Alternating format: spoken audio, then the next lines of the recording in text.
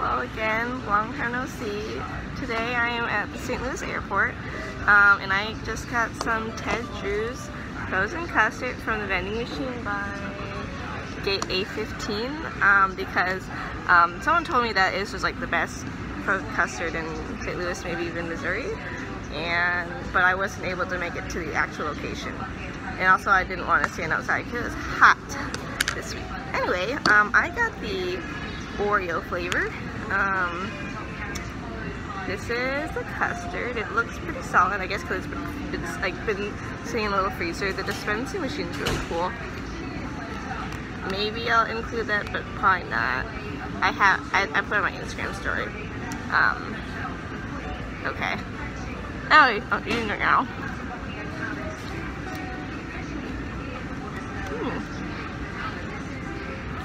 Know if you can tell, I'm having some struggles. I'm nice and dense. Don't lot of flavor. It's like a standard Oreo, like cookies and cream type. Let's see. I used to keep a metal spoon in my backpack, but I think I had taken out and now I don't know why I kept it. So I could eat ice cream and other frozen treats more effectively on the go not struggle like this. Mmm. need more strength.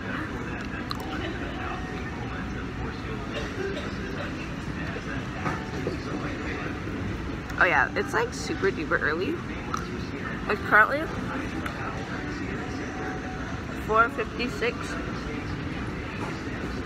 a.m. Um, so there's not really a lot of places open. I'm sitting in some little eating area.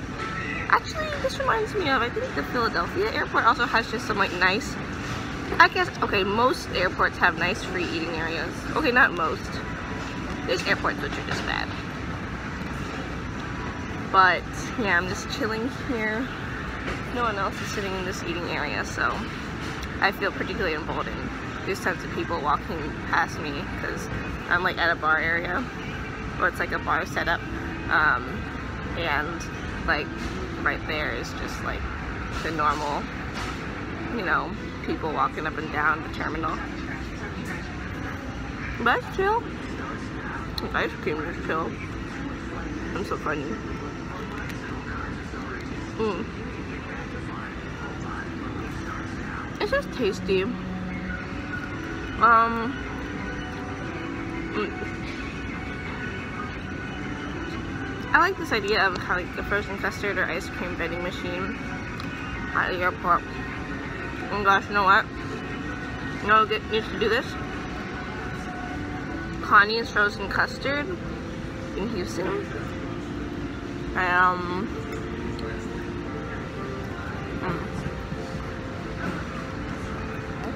um, oh, and Kopp's in Milwaukee. That would also do well, I think. Mm. I would say like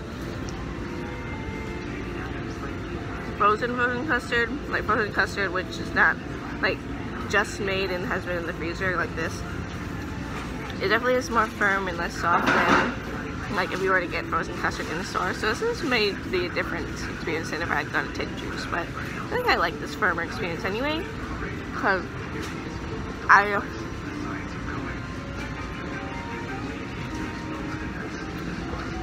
tend to like my frozen treats on more on the solid side. Well, this is quite a lot. You can see I've barely got a ways to go, so I'm gonna stop the video now because I wanna play Pokemon Go. Um, yeah. I might bite two gyms actually, so gonna do that. And if I have any more insights later on in my custody process, I'll get another video and I'll do some Windows Movie Maker magic. Because that is what I use to edit videos, Windows Movie Maker. Oh. Alright. Bye. Alright, y'all. It is currently 519.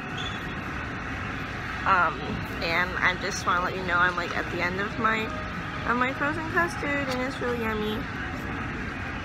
I had a friend from work come by, she saw me and talked a little bit. I saw her do a quick like glance down, kind of like a once over, except like instead of once overing someone's like what their outfit is, it's like what they're eating. And I was like, oh yeah, I guess I am eating frozen custard, like ice cream type things for breakfast. So, you know, living my best life. Um, yeah. You guys stand by my canceled, like my canceled version of my previous hot take where it was a good time. It is tasty. Was it particularly like special or unique? Like compared to other cookies and cream ice creams? No. The cookies and cream ice cream is always pretty good, so yeah.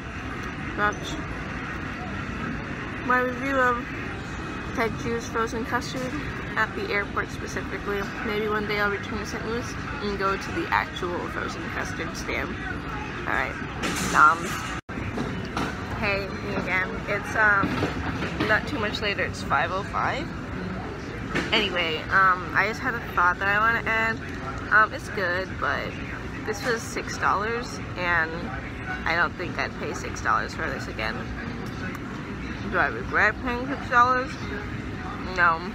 It's still good. I'm glad I tried the famous Drewes, but don't know. Maybe it's St. Louis's finest, but I don't know if it's like $6 fine. Well, oh, we are actually also in an airport.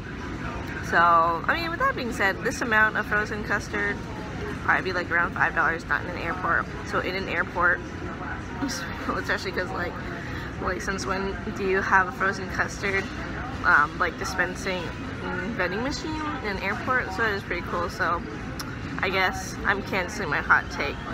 In certain circumstances, I think I'd pay six dollars again, but maybe with another person so I could share the love. All right, bye again.